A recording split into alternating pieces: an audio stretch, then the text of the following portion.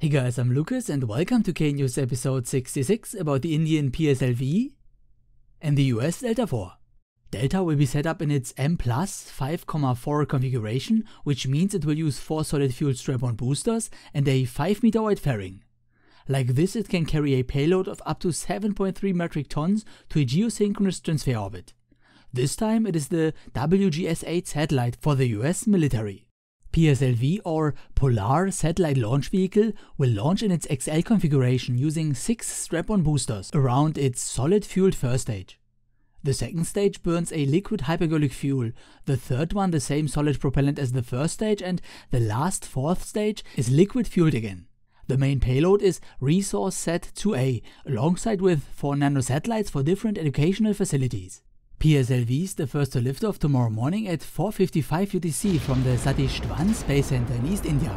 It will head south to push its payload on a sun-synchronous polar orbit. In case you live near the city Chennai, you will be able to see the rocket fly pretty much overhead, flying from north to south. Something rather special the rocket does is to ignite two of its strap-on boosters mid-flight and not on the ground. These will also separate much later into the flight than the others. The rest is pretty much standard procedure, separating one stage after another while keeping the apoapsis relatively close to the vehicle. This allows it to circularize the orbit without having to restart the engine multiple times. The main payload is as mentioned ResourceSat-2A, which is an observation satellite. It uses different types of image sensors in a linear array, working in a so-called push broom scanning mode. Yes, push broom refers to a broom you push dirt with. This means the satellite will snapshot a full stripe on the ground after another, instead of scanning it from left to right. This would be called a whisk broom scanning mode. The whisk broom technique can utilize the complete sensor area multiple times for such a stripe which leads to a higher resolution. However, the downside is the shot takes longer and the mechanism has also a certain chance to break. Once the upper stage finishes its job, it will first release the main payload and right after that the secondary satellites. Delta IV will meanwhile wait on the launch pad at Cape Canaveral to lift off at 23.53 UTC on the same day. However, the launch window is almost an hour long and extends into December 8th.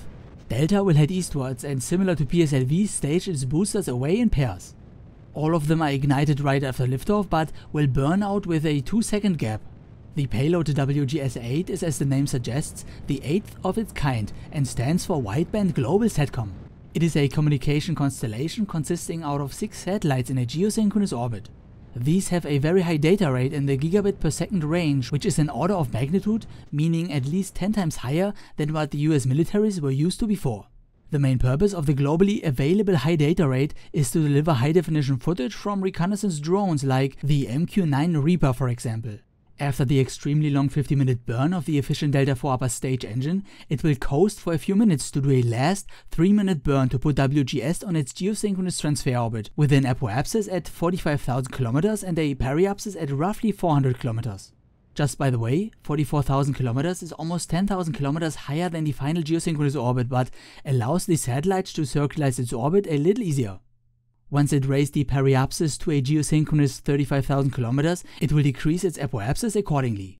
Now in the end I want to give a little shout out to my patrons. Thanks a lot guys. These people support my monthly crowdfunding campaign for this series and if you want to contribute as well, simply follow the link in the description. Okay, that shall conclude episode 66 and I hope to see you next one if you like. Auf Wiedersehen and thank you for watching.